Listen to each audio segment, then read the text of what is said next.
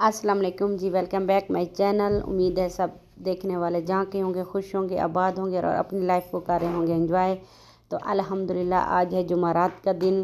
तो हम जा रहे हैं जी उम्र पे। अल्हम्दुलिल्लाह, अल्लाह पाक का शुक्र है जिस, जो हमें अपने दर पे बुलवा रहा है। तो जी यहाँ पर मैंने बनाई थी बिरयानी, क्योंकि ये जहर के बाद का टाइम है और हमारे यहाँ मौसम है ठंडा और बाहर हो रही है बारिश। यहाँ पर जैनब और ऐशा को भी मैंने नहला दिया था, क्योंकि इन्होंने कंघी उम्र के दौरान नहीं करनी तो बाल जब मैंने कहा, चलें, सूख जाएँ, और बाहर हो रही थी बारिश तो बच्चों को मैं खिला रही हूँ यहाँ पर खाना।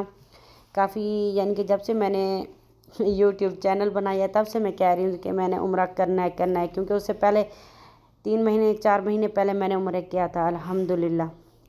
तो जी, ये देखें, ये वाली बारिश हो रही है बाहर, और एकदम जो है ना, फुल शदीद वाली बारिश शुरू हो गई थी तो मैं थोड़ा घबरा रही थी कि पता नहीं मक्का में कैसा मौसम होगा।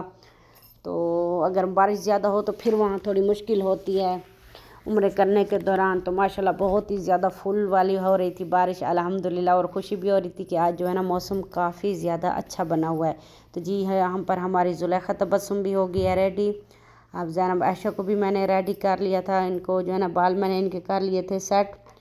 और जैसे ही हम घर से निकले तो बाहर मौसम हो गया था ठंडा और साथ में मैंने एक बड़ा सा थर्माल जो है ना, चाय का बना लिया था क्योंकि एक सर्दी थी और दूसरा जब भी हम सफ़र पे जाते हैं तो मैं हमेशा जो है ना चाय बना के ही जाती हूँ। तो जी अल्हम्दुलिल्लाह, अब जो है ना हम मक्का में पहुँच गए हैं और जो उम्र के नवाफिल थे, वो हमने घर से ही अदा कर लिए थे क्योंकि हमारा जो घर है ना, वो मक्के की हद से बाहर है।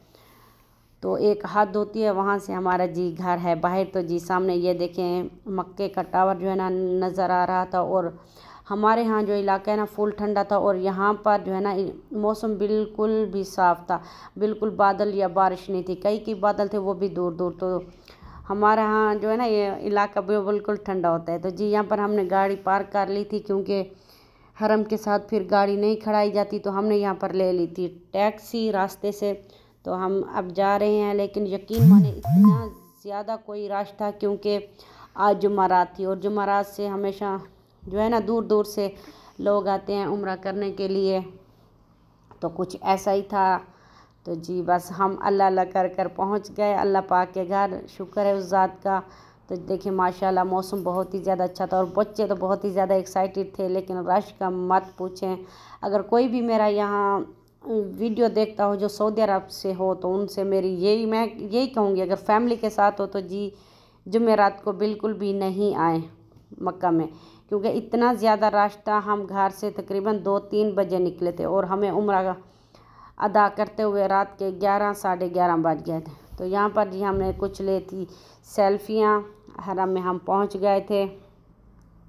और दोबारा से हम हो गए थे फ्रेश और नमाज़ वगैरह का जो है ना, दोबारा से मैंने वज़ू बना लिया था। तो जी माशा यहाँ पर हो रही है मग़रब की अजान, मैं आपको सुनाती हूँ।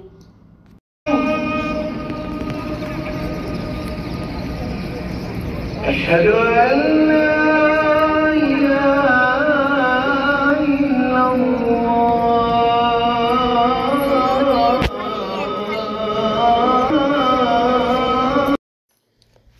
माशाल्लाह, मगरिब की नमाज़ के बाद, अल्हम्दुलिल्लाह, हमने जो है ना मगरिब की नमाज़ पढ़ी थी हरम पाक में, क्योंकि मगरिब का टाइम हो गया था, हम घर से तो काफ़ी जल्दी निकले थे, असर के बाद तकरीबन निकले थे, मुझे अच्छे से याद नहीं है। तो जी, मगरिब की नमाज़ अदा करने के बाद इन्होंने आगे जाने दिया, क्योंकि जो आते हैं, उनको तो पता होगा, रास्ता बंद किया हुआ होता है, और डायरेक्ट जो है ना, अंदर इंटर नहीं होने देते। तो जी, माशाल्लाह, हम अंदर आ गए थे तो जी, अभी आप भी जो है ना अपना दिल थाम ले, अभी देखें सामने से खाना काबा तो माशाल्लाह बहुत ही ज़्यादा दिल को सुकून मिला। शुक्र है उस का जिसने हमें मुसलमान बनाया और हमें ये उम्र की सादत नसीब फरमाई। और मैंने सब अपने देखने वालों की सब के लिए दुआ मांगी थी कि अल्लाह पाक जो मेरा चैनल देखते हैं, उन सब की जो नेक ख्वाहिशात हैं अल्लाह पाक पूरी फरमाए और बाकी जो मुसलमान हैं, उनकी जो भी नेक ख्वाहिशात हैं अल्लाह पाक पूरी फरमाए, आमीन, सुम आमीन। और अल्लाह पाक अपने प्यारे महबूब सल्लल्लाहु अलैहि वसल्लम के सदक़े आपको भी सब मुसलमानों को ये सादत नसीब फरमाए। तो जी, ये देखें, माशाल्लाह सामने से खाना काबा।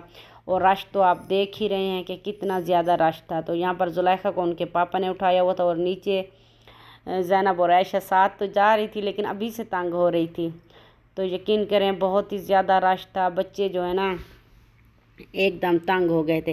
तो जी, हमने खाना काबा के तवाफ़ के सिर्फ़ दो ही चक्कर कंप्लीट किए थे कि इशा होगी। तो आप खुद अंदाज़ा लगा लें कि मगरिब और इशा में कितना गैप होता है। तो इस टाइम हमने सिर्फ़ दो ही खाने काबे के चक्कर लगाए थे। तो माशाल्लाह, यहाँ पर हो गया था फिर दोबारा इशा का टाइम। तो हम ढूंढ रहे थे जी, जगह बैठने के लिए, क्योंकि यहाँ पर तो ईशा के बाद माशाल्लाह हमारा उम्र जो है ना दस बजे हो गया था कंप्लीट और हमारी ऐशा हो गई थी यहाँ पर गुम। जब हम वापस आ रहे थे, हमने उसको ढूंढा तो अल्हम्दुलिल्लाह वो मिल गई थी। तो जी, ये था हमारा उम्र। तो अपना और अपनों का रखें ख्याल। अल्लाह हाफिज़।